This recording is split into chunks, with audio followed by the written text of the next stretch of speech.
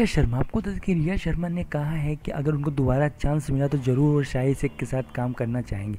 आपको बता दें कि जैसे कि आपको मालूम चल चुका है कि लास्ट डे शूट हो चुका है, ये रिश्ते हैं प्यार के, कल ही ऐसी खबरें आने लग थी, कल ही उनका लास्ट डे शूट था।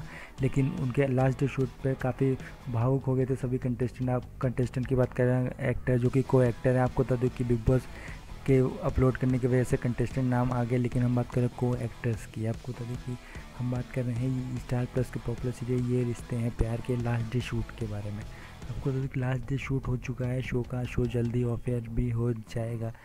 शो को साथ निभाने साथिया का सेकंड सीज़न ऑफ़ रिप्लेस करेगा। आपको बता दें कि ये रिश्ते हैं प्यार के, मैं अपने शाहिर शेख और रिया शर्मा को देखा होगा मेन लीड की भूमिका में। रिया शर्मा का कहना है कि अगर वो भविष्य में, अगर उनको कोई को एक्टर मिले तो ज़रूर शाहिर शेख के साथ वो मतलब काम करना चाहेंगे। आपको बता दें कि ये राजेश राय का शो था।